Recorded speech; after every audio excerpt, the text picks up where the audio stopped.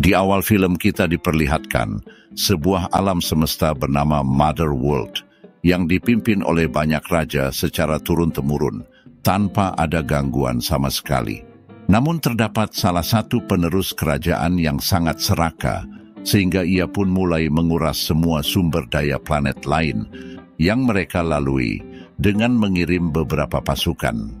Namun, suatu ketika sang raja harus tewas bersama sang ratu karena sebuah aksi pemberontakan, sehingga memutus garis keturunan raja untuk selamanya. Beberapa planet jajahan Mother World secara diam-diam mulai merencanakan revolusi. Tapi seorang senator bernama Balisarius ingin merebut kekuasaan Mother World. Untuk menguji kekuatannya, ia pun mengirim komandan paling kejam ke luar Motherworld untuk menghancurkan planet yang mereka lalui.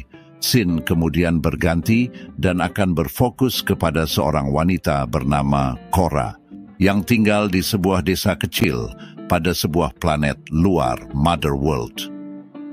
Pada malam hari seperti biasa di saat hari panen, seorang kepala desa bernama Rexa mengadakan makan bersama untuk tradisi leluhurnya karena hasil panen yang melimpah. Hal itu membuat semua rakyat bersuka cita dan menari bersama.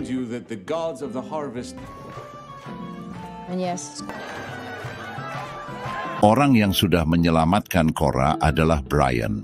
Brian lalu menyuruh Cora agar segera mempunyai pasangan. Namun Cora sendiri masih bingung sedangkan ia sendiri sudah diasuh untuk berperang sejak kecil, dan Kora merasa jika cinta adalah tanda kelemahan.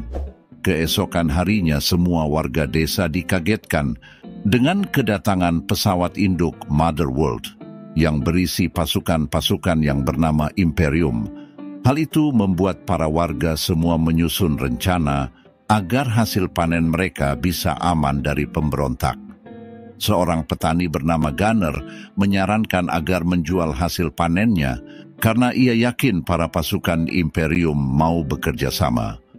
Cora yang mendengar hal itu sontak menolaknya karena ia tahu jika kapal Mother World tidak akan mau bekerja sama, tujuan mereka juga hanyalah untuk merampas dan menghancurkan yang sudah kita miliki.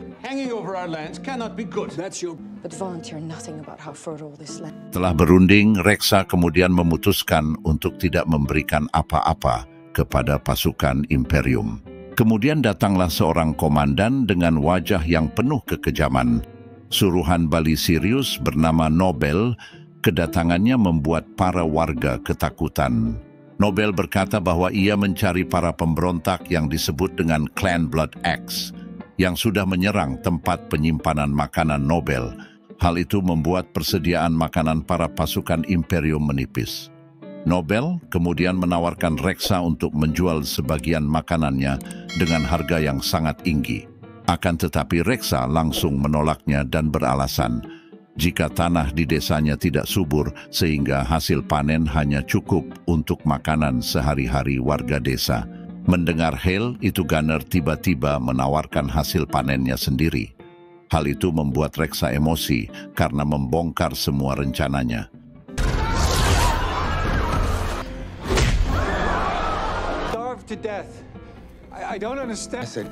Nobel yang sangat kesal akan rencana mereka pun langsung menghabisi Reksa dan istrinya.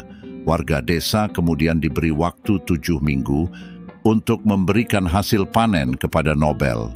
Lalu Nobel akan kembali dengan waktu yang singkat kemudian mengutus beberapa anak buahnya untuk mengawasi desa. Tidak hanya itu, pasukan Imperium juga dibantu oleh sebuah robot penasehat raja bernama Chimi. Namun seorang pasukan yang bernama Markus malah menembaki Chimi karena robot tersebut menolak mengikuti perintahnya Hal itu dilakukannya agar ia tak akan melawan lagi. Karena semenjak sang raja tewas, para robot mulai menolak untuk bertarung. Cimi kemudian membersihkan dirinya di sebuah danau dan seorang wanita yang melihatnya bernama Lily datang memberinya sebuah handuk. Di sana mereka berdua berpincang satu sama lain dan Cimi melihat bahwa Lily mirip dengan putri raja yang bernama Putri Isah yang dipercaya akan membuat perdamaian. Akan tetapi Putri Isah tewas dibunuh oleh orang yang ia percaya. Di tempat lain semua orang berkumpul dan berniat untuk memberikan hasil panennya kepada Nobel agar warga desa dianggap berharga oleh pasukan imperium. Cora yang tampak emosi memutuskan untuk pergi dari tempat itu karena ia yakin kalau pasukan imperium tak akan memberikan ampunan setelah melihat perlakuannya terhadap Rexa. Tapi ketika akan pergi, Cora melihat Lily yang diganggu oleh para pasukan imperium. Salah satu pasukan bernama Aris juga membela Lily, namun ia malah dihajar oleh rekan-rekannya sendiri. Karena merasa kasihan, Cora akhirnya menolong Lily dan ia berhasil menghabisi semua pasukan Imperium seorang diri.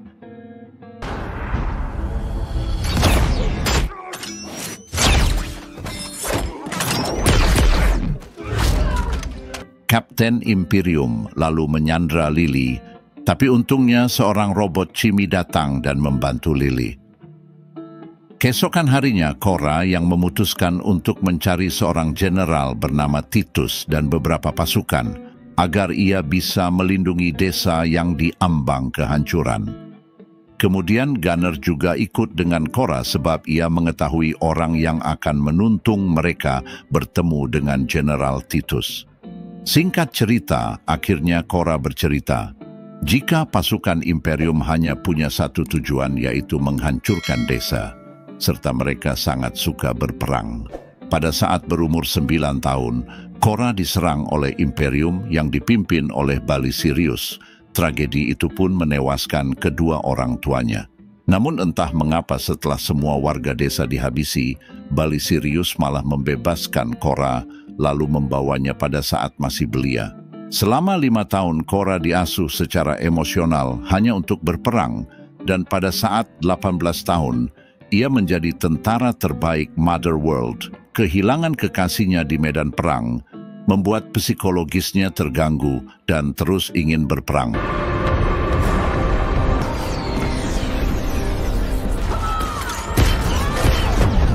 Keesokan harinya akhirnya mereka berdua telah sampai di sebuah kota. Tapi sayangnya, orang yang mereka cari sudah ditangkap oleh beberapa pemburu yang bekerja untuk Imperium. Hal itu membuat mereka mencari cara lain untuk keberadaan Titus. Mereka berdua pun mendapat gangguan oleh pria berkepala monster yang bernama Ricky, namun Cora berhasil menghajarnya. Kemudian Cora mendapat informasi keberadaan Titus yang katanya sekarang berada di sebuah tempat bernama Pollux. Cora juga diperingatkan untuk tetap berhati-hati karena sebelumnya ada orang yang mencari Titus namun ia tewas secara mengenaskan. Beberapa menit kemudian Ricky datang dengan wajah yang emosi tampak ingin. Balas dendam atas kejadian tadi, ia membawa beberapa anak buahnya untuk menghajar Cora. Akan tetapi seseorang berhasil menghadangnya. Beruntungnya Cora dibantu oleh seorang pembunuh bayaran yang bernama Kai. Di sana, Kai dengan senang hati akan membantu mereka berdua menuju Pollux serta mencari pasukan Mother World dengan syarat dia harus dibayar dengan uang. Cora pun setuju dan segera berangkat menggunakan pesawat milik Kai. Sebelum ke Pollux, Kai mengajak Cora bertemu dengan seseorang yang akan membantu mereka. Akhirnya mereka tiba di suatu tempat. Mereka pun bertemu dengan seorang pria yang bernama Farak, yang pernah berperang melawan Mother World. Namun, saat ini ia mempunyai utang yang sangat banyak dan berusaha untuk melunasinya. Karena Cora tak punya uang untuk menebus utang Farak, bos Farak lalu kemudian menantang Farak untuk menunggangi burung raksasa yang sangat buas itu. Dan jika berhasil, semua utang Farak dinyatakan lunas. Tapi jika gagal, mereka semua harus bekerja menjadi buruh pada bosnya Farak. Mereka semua setuju dan Farak segera menjinakkannya pada awalnya, Farak mengalami kesulitan untuk mengendalikan burung itu. hingga pada akhirnya Farak berhasil menunggangi burung itu dengan sangat lihai. Dan akhirnya utang Farak pun lunas dan ia bisa pergi bersama Korah. Ketika bos Farak ingin sendiri mencoba menunggangi burung besar itu, ia malah tewas tercabik-cabik oleh hewannya peliharaannya sendiri. Mereka berempat sampailah di kota Tambang. Di sana mereka merekrut seorang pendekar pedang legendaris cyborg bernama Nemesis. Nemesis sangat terkenal di tempat itu karena kemampuan pedangnya. Namun di saat itu juga, seseorang meminta bantuannya untuk menyelamatkan anaknya yang diculik oleh monster laba-laba bernama Sarmata dengan kemampuan pedang Nemesis. Ia berhasil menghabisi di Sarmata dengan sangat lincah. Setelah itu, mereka semua segera melanjutkan perjalanan. Di tengah perjalanan, Cora kembali menceritakan masa lalunya kepada Gunner, yang di mana kemampuan Cora yang sangat luar biasa ketika medan perang membuat dirinya diangkat menjadi pengawal pribadi Putri Isa. Putri Isa mempunyai kemampuan untuk membangkitkan makhluk hidup. Yang terlihat seekor burung yang sudah mati, namun kembali hidup setelah dipegang oleh Putri Isa, Kora dan yang lainnya telah sampai di Pollux, tapi di sana Jenderal Titus malah menjadi seorang gelandangan karena ia masih merasa bersalah atas kematian semua pasukannya, dikarenakan dirinya yang menyerah waktu berperang. Tapi Kora mencoba meyakinkan Titus jika ia masih bisa menebus kesalahan itu untuk terus melawan Mother World. Di tempat lain, informan yang sebelumnya dicari oleh Gunner sudah sampai di markas Nobel.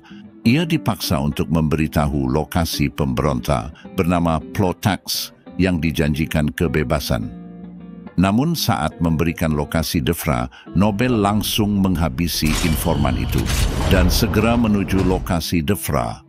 Cora dan yang lainnya telah sampai di lokasi Defra terlebih dahulu. Di sana, Cora ingin bergabung dengan komplotan revolusi Defra karena dengan begitu para warga desa aman dan Defra bersama pasukannya akan dibayar dengan hasil panen yang melimpah. Tentu saja Defra menolak karena pasukan Mother World adalah pasukan yang sangat sulit untuk mereka kalahkan. Tapi pada akhirnya saudara Devra yaitu Darian setuju untuk membantu Kora karena lokasi mereka bisa saja ketahuan saat warga desa diserang dan diinterogasi. Darian kemudian mengajak semua pasukannya untuk bergabung. Mereka semua kemudian segera menuju tempat yang bernama Kondival, sebab Kai mengatakan jika ada orang yang dapat membantu mereka di sana.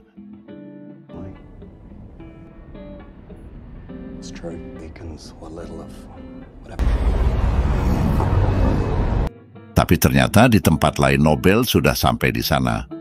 Seorang raja bernama Levi yang selama ini melindungi Defra dipaksa untuk memberitahu lokasi Defra. Tapi Nobel adalah orang yang kejam. Ia langsung menghabisi Raja Levi dan menghancurkan tempatnya.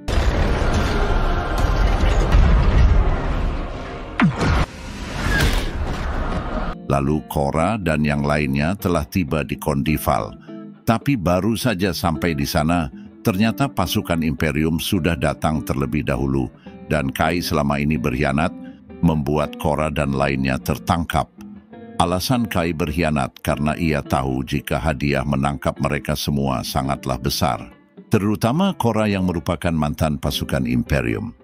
Terlebih lagi planet Kai sudah dihancurkan oleh Mother World yang membuat semua orang di planet Kai merana.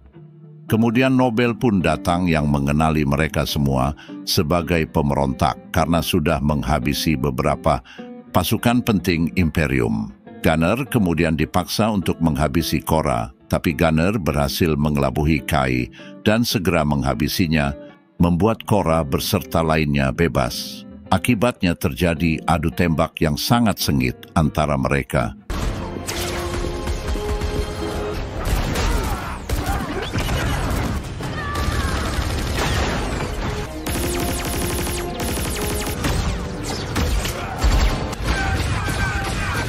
Membuat tempat tersebut porak-poranda.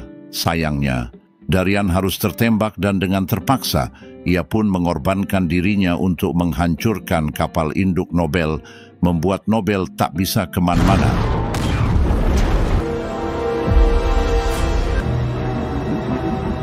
Presiden di akhirnya Cora berhasil melawan Nobel. Mereka berdua kemudian bertarung untuk mengalahkan satu sama lain. Namun Cora yang merupakan mantan pasukan berhasil menghabisi novel yang dikenal sangat kejam.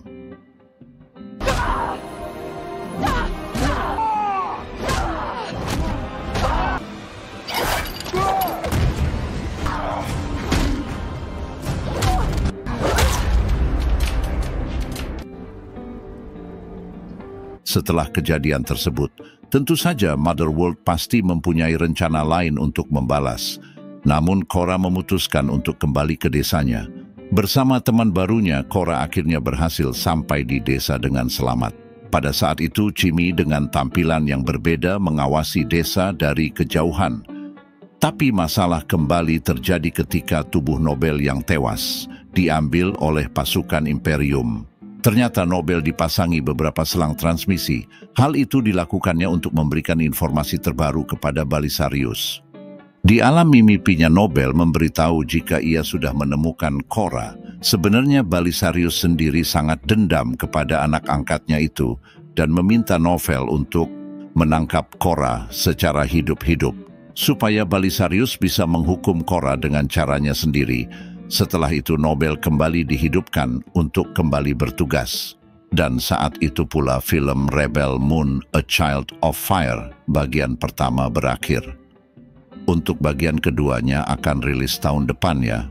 Oke, segitu dulu video kali ini. Tuliskan komentar di bawah tentang kritik saran video dan jika kalian suka video ini, silahkan di like, di subscribe dan sebarkan ke teman-teman kalian. Saya pamit undur diri. See you next time and bye-bye.